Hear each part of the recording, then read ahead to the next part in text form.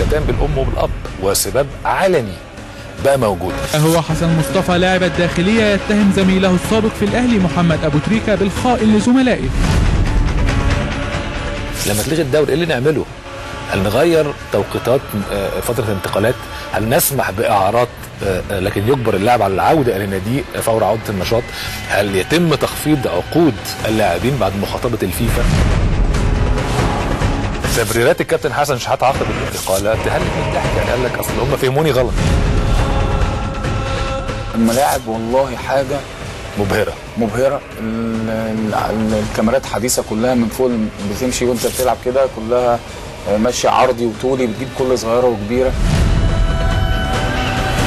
الناس دي لها ماتشات بتتذاع على التلفزيونات في أوروبا. لا ما بتنزعش في بعض الماتشات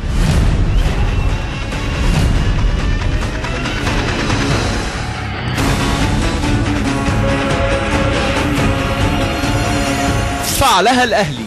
واصل تألقه وإعجازاته التي يصعب وفقا للمنطق تحقيقها.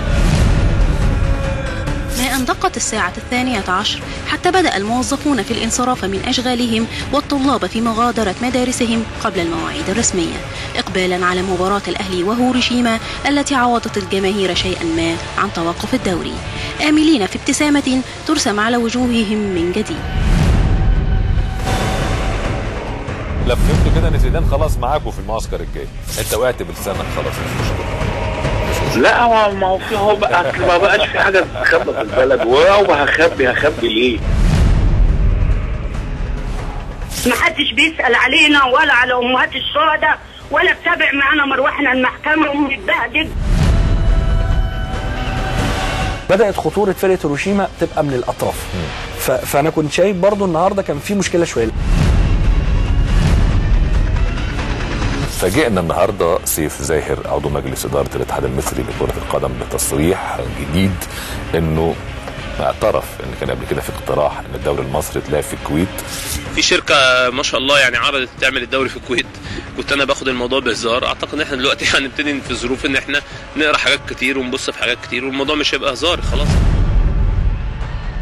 لم أتي إلى مصر للتدريب فقط. الآن صار لي ستة أشهر في مصر ولا يوجد نشاط. عندي عروض حالية وعلى الرغم من وعدي لبتروجيت باستمراري معهم إلا أن الظروف الحالية قد تدفعني لاتخاذ قراري بالرحيل.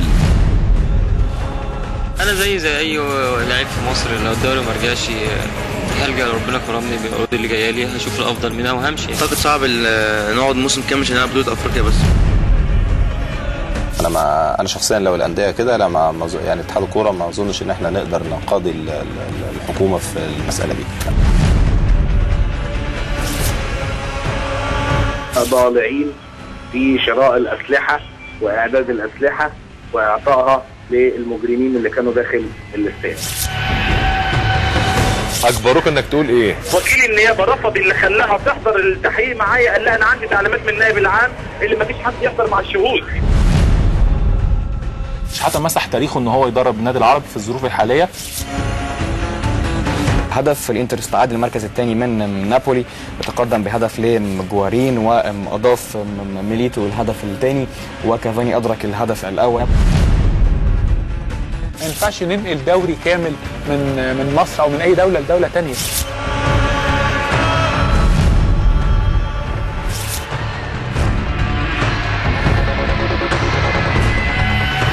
أداء رائع خسارة غير مستحقة وخروج مشرف من المنافسة على لقب كأس العالم للأندية.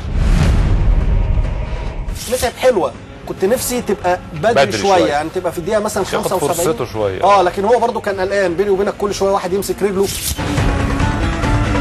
قال لي أنتوا طلعتوا الكلام اللي إحنا مش قادرين نقوله. أم الشهيد بتنادي وهمه كل ملاليم. مش ده اللي مات للنادي وقلبته يومها حريم.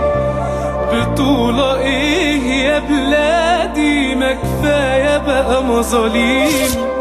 حق اللي ماتوا لازم يجي يجيب لهم حقهم. لو ما جاش في الدنيا يجي في الآخرة. دي صورة إسلام مش كده؟ دي إسلام. أنا كنت بقول استثماري كله لاولادي شقايا كله لاولادي كنت بوديهم في كل مكان وأنا معاهم.